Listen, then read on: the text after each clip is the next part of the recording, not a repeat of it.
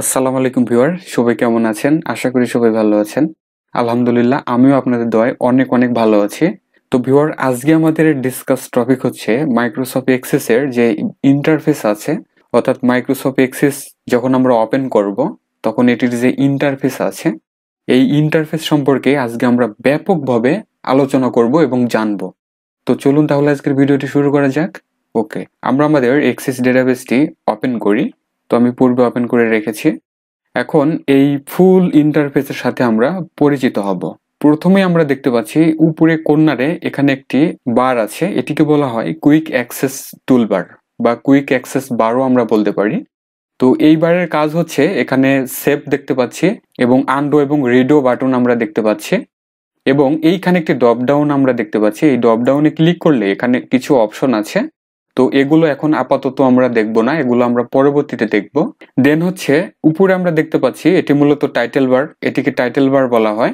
এবং এইখানে আমরা দেখতে পাচ্ছি, আমাদের ডেটাবেজের নাম সহ, আমাদের পিসির পাথ সহ এখানে দেখা যাচ্ছে।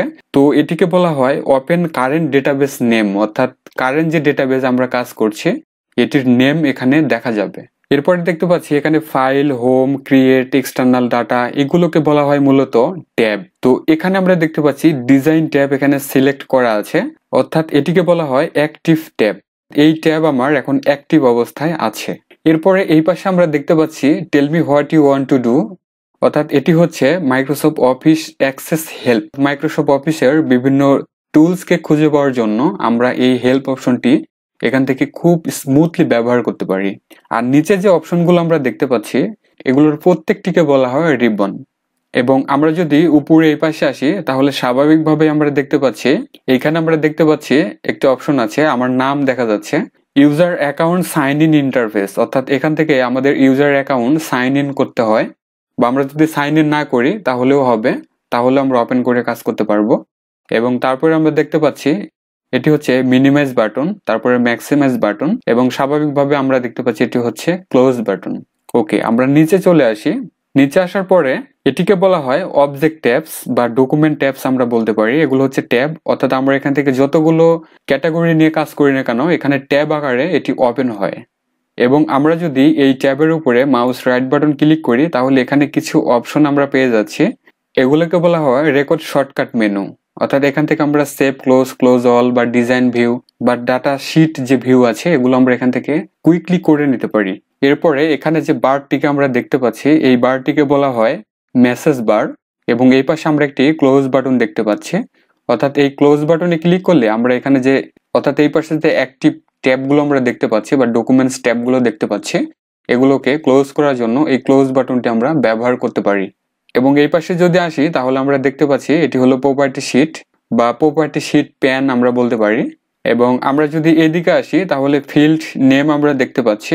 এই ফিল্ড নেম থেকে যে ফিল্ড নেমটি আমার সিলেক্ট অবস্থায় থাকবে, এটিকে বলা হয় সিলেক্টেড ফিল্ড এবং এই পাশে আমরা ডেটা টাইপ দেখতে পাচ্ছি, এগুলো প্রত্যেকটি এক একটি ডেটা টাইপ অর্থাৎ এখানে যদি ক্লিক করা হয়, তাহলে এখানে ড্রপ ডাউন আমরা পেয়ে যাচ্ছি। এই ড্রপ ডাউনে ক্লিক করে আমরা আমাদের এই ডেটার টাইপগুলো এখান থেকে করে নিতে পারি। এইখানে যে এরিয়া দেখতে পাচ্ছি হোয়াইট এরিয়া এটিকে বলা হয় ওয়ার্ক এরিয়া এবং বাম পাশে যে আমরা প্যান দেখতে পাচ্ছি, এটিকে মূলত বলা হয় নেভিগেশন প্যান এবং আমরা যদি এইখানে মাউস নেই, তাহলে আমরা একটি অ্যারো মার্কের মতো দেখতে পাচ্ছি। Click and drag to enlarge navigation pane অর্থাৎ এটিকে যদি আমরা ড্রাগ করে এভাবে টানি, তাহলে দেখুন, এটি ছোট বড় হচ্ছে। এভাবে ছোট বড় আমাদের কাজের সুবিধার্থে আমরা করে নিতে পারি। এবং এই নিচে আমরা দেখতে পাচ্ছি, এখানে ফিল্ড প্রপার্টিস আমরা লক্ষ্য করেছি। তো এটি মূলত হচ্ছে field properties for selected field অর্থাৎ যদি আমরা দেখুন অ্যাড্রেস এখানে সিলেক্ট করেছি দেন অ্যাড্রেসের যে ফিল্ড প্রপার্টিস আছে, এটি কিন্তু আমরা এখান থেকে দেখতে পারি এবং এই ফিল্ড প্রপার্টিসগুলো আমরা চেঞ্জ করতে পারি বা বিভিন্নভাবে কাস্টমাইজেশন করতে পারি। যতগুলো ফিল্ড নেম আমরা সিলেক্ট করব, ঠিক ওই অনুযায়ী ওই ফিল্ডের প্রপার্টিসগুলো আমরা এখান থেকে করে নিতে পারি।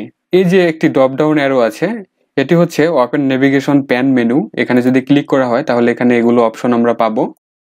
এবং তারপরে যে অপশন আছে, এটিকে বলা হয় শর্টার বার বা ওপেন বা ক্লোজ বাটন আমরা বলতে পারি। এটিকে যদি এভাবে করা হয়, তাহলে দেখুন এটি ক্লোজ হয়ে গেছে।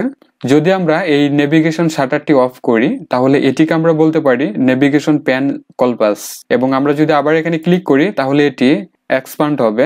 এবং এখানে আমরা দেখতে পাচ্ছি একটি সার্চ অপশন আছে, অর্থাৎ আমাদের যে ক্যাটাগরি আছে, এগুলোকে খুঁজে পাওয়ার জন্য। অর্থাৎ এখানে যে টেবিল আছে কোয়েরি আছে বা ফর্ম রিপোর্ট বিভিন্ন এলিমেন্ট নিয়ে যখন আমরা কাজ করব তখন এগুলোকে খুঁজে পাওয়ার জন্য এই সার্চ অপশনটি ব্যবহার করতে পারি। তো এটি মূলত যখন আমরা অনেক বড় সড়ো ডেটাবেজ নিয়ে কাজ করব, তখন সার্চ করার জন্য আমরা এটি ব্যবহার করব। এবং আমরা যে উপর দিক নির্দেশিত একটি অ্যারো দেখতে পাচ্ছি, এটিকে বলা হয় এক্সপান্ড অর কলপাস গ্রুপ বলা হয়। তো এটি যদি ক্লিক করা হয়, তাহলে এভাবে ক্লোজ এবং ওপেন হবে, অর্থাৎ কলপাস হবে। এবং আমরা বাম পাশের প্যানে যে টেবিল কোয়ারি এবং ফর্মগুলো দেখতে পাচ্ছি, এগুলোর উপরে যদি আমরা মাউস রাইট বাটন ক্লিক করি তাহলে এখান থেকে database object to open it আমরা এগুলোকে ওপেন করে নিতে পারি। এখান থেকে বিভিন্ন ক্যাটাগরিতে ওপেন করতে পারি কাট করতে পারি কপি করতে পারি ডিলিট করতে পারি। বা এগুলোর ভিউ যে প্রপার্টিস আছে, এগুলো করতে পারি রিনেম করতে পারি। এবং আমরা এখানে দেখতে পাচ্ছি এক্সপোর্ট আছে। এই এক্সপোর্টে যদি ক্লিক করি, তাহলে এখান থেকে আমাদের এই ডেটাবেসটিকে আমরা এক্সেলে নিতে পারি ওয়ার্ডে নিতে পারি বা, এবং আরও যে প্রোগ্রামগুলো আছে, যেমন পিডিএফ টেক্সট ফাইল আছে বা এইচটিএমএল ডকুমেন্ট আছে, এগুলোতে আমরা নিতে চাইলে এই এক্সপোর্ট অপশনটি আমরা ব্যবহার করতে পারি।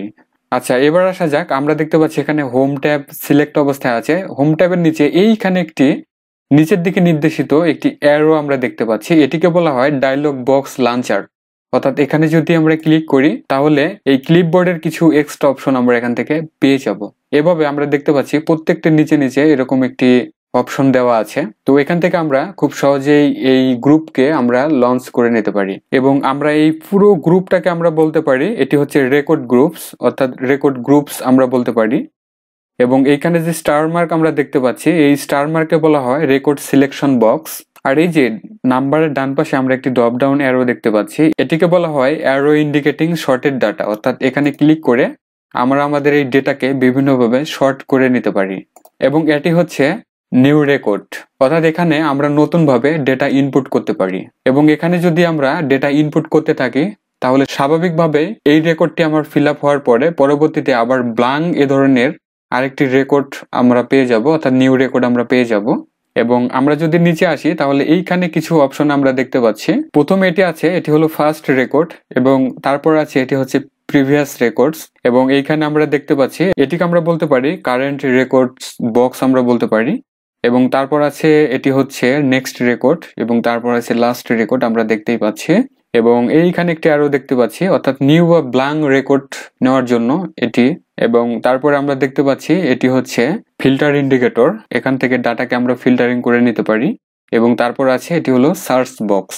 অর্থাৎ আমরা বিভিন্ন ডেটাকে সার্চ করার জন্য বা খুঁজে পাওয়ার জন্য এই সার্চ অপশনটি আমরা ব্যবহার করতে পারি। তো ভিউয়ার, আজকের পার্টে মূলত আমরা মাইক্রোসফট এক্সেসের যে ইন্টারফেস আছে, এই ইন্টারফেসের সাথে আমরা বিস্তারিতভাবে পরিচিত হয়েছে।